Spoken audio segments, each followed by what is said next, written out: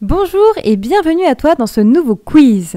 Aujourd'hui, je te propose un quiz général sur tous les contrastes que nous avons vus ensemble. La règle est assez simple, je vais te poser 30 questions, tu auras 5 secondes pour répondre à chacune d'elles et à la fin, je te donnerai les réponses. Tu es prêt? Alors c'est parti. Question numéro 1. Dans un contrat de construction, avec fixation d'un forfait, les travaux supplémentaires n'ont pas besoin d'un écrit.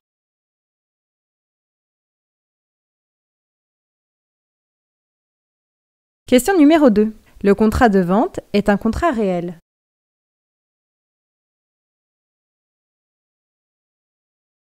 Question numéro 3. Si je mets ma voiture en dépôt, le dépositaire pourra l'utiliser s'il a besoin urgent.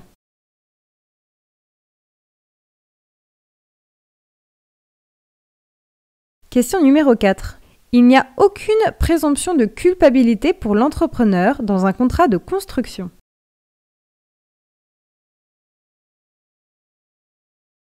Question numéro 5. La promesse unilatérale est celle où une des deux parties s'engage.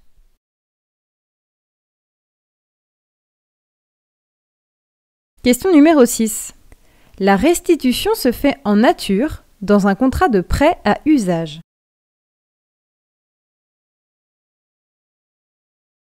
Question numéro 7. Le contrat de prêt à usage est un contrat essentiellement à titre onéreux.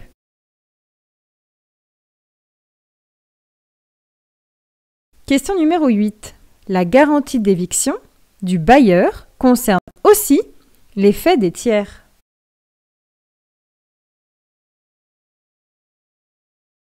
Question numéro 9. Peut-on exercer une activité commerciale dans un bail d'habitation?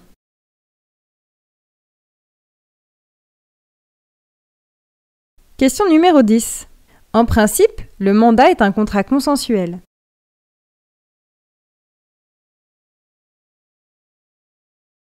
Question numéro 11. Dans le contrat de mandat, il y a un lien de subordination entre le mandataire et le mandant.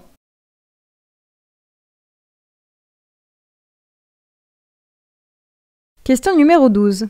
Dans le contrat de dépôt à durée déterminée, le déposant peut restituer la chose avant la fin du terme s'il ne peut plus s'en occuper.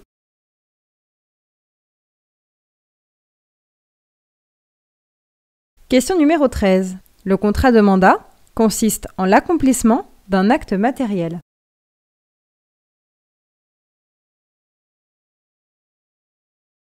Question numéro 14. Dans le contrat de louage d'ouvrage, la résiliation unilatérale est prohibée.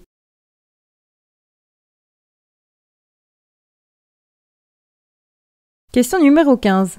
La vente de la chose d'autrui n'ouvre aucune action en annulation de la vente pour le véritable propriétaire.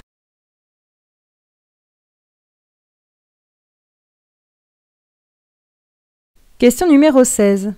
Si Jean m'a prêté sa voiture, maintenant que je l'ai en possession, je peux aussi la prêter à Augustin s'il a un besoin urgent.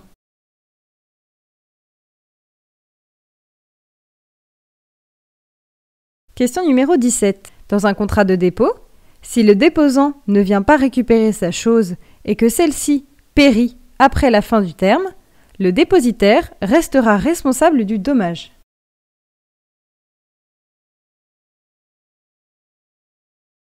Question numéro 18. Le contrat de louage d'ouvrage est-il synalagmatique?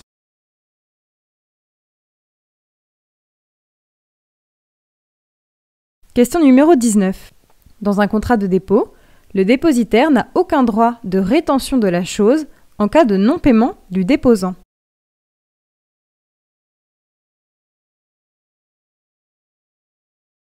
Question numéro 20. La sous-traitance est formellement interdite dans le contrat de louage d'ouvrage.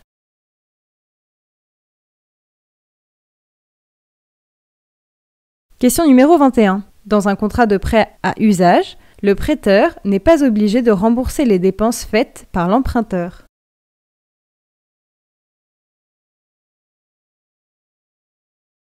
Question numéro 22. L'appel en garantie est le partage des responsabilités entre le sous-traitant et l'entrepreneur principal.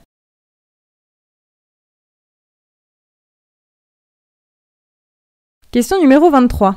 Dans un contrat de sous-traitance, si le maître de l'ouvrage est une personne publique, alors l'action en paiement direct est automatique.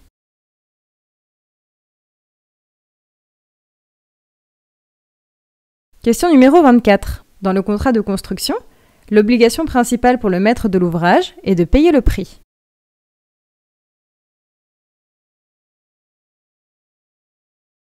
Question numéro 25. Les éléments essentiels dans un contrat de vente est la chose et le prix.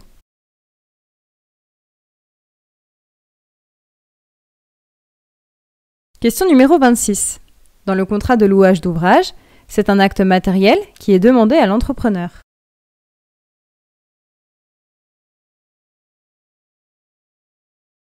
Question numéro 27. Le locataire peut modifier la peinture des murs du bien en location à sa convenance.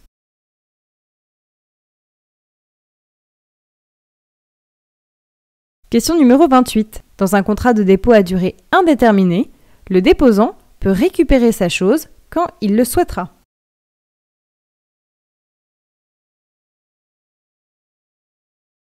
Question numéro 29. Dans un contrat de vente, le prix peut-il être symbolique?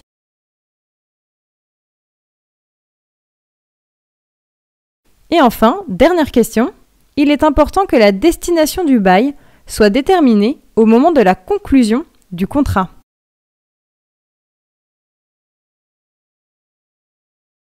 Voici les réponses des questions auxquelles tu viens de répondre. J'espère pour toi que tu as réussi. Question numéro 1. Faux. Il faut un écrit.